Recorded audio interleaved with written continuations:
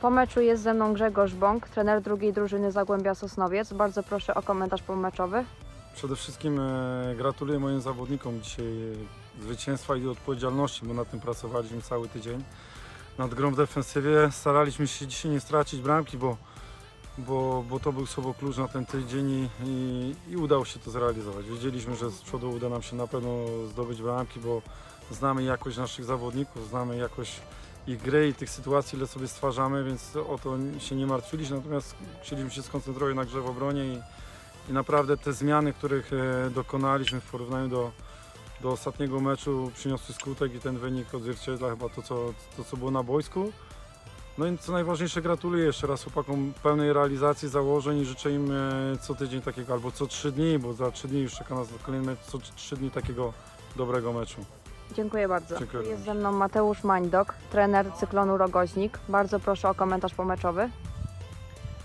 E, No, dzisiejszy mecz wygrała drużyna, na pewno, która zdecydowanie lepiej, e, lepsza była mobilnie i przede wszystkim skuteczniejsza. Ja wiem, że e, takim może piętą achillesową do tej pory tej młodej drużyny była skuteczność, no to dzisiaj, dzisiaj ją zdecydowanie poprawili.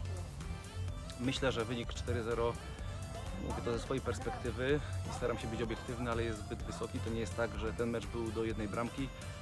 Nie wykorzystaliśmy naprawdę kilku, kilku dobrych szans, w tym rzutu karnego. No, co prawda ten rzut karny już nie miałby żadnego znaczenia. Natomiast mieliśmy jakiś plan na ten mecz, e, jakąś strategię, sposób w jaki mieliśmy grać. Niestety to zawiodło. To, czy, to je, czy to była zła strategia, czy gdzieś zawodnicy do końca nie wypełnili tych zadań, to już jest nasza wewnętrzna sprawa. Natomiast fakt jest taki, że dzisiaj z przebiegu całego meczu wygrała na pewno drużyna lepsza i wygrała zasłużenie. Natomiast, tak mówię, z mojej perspektywy wydaje się, że ciut, ciut za wysoko. Natomiast punkty tak czy siak e, jadą do Sosnowca.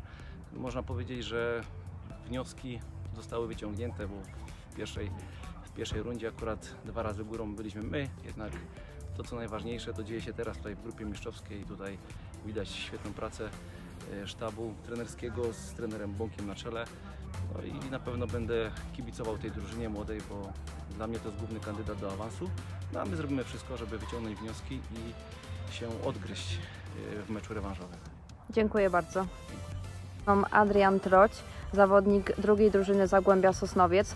Powiedz, co myślisz o dzisiejszym meczu? Zagraliśmy bardzo dobre spotkanie. Strzeliśmy jedną bramkę szybką, drugą, trzecią. Nie daliśmy sobie strzelić bramki i, i wygraliśmy. Gratulujemy. Dzięki. Dziękuję.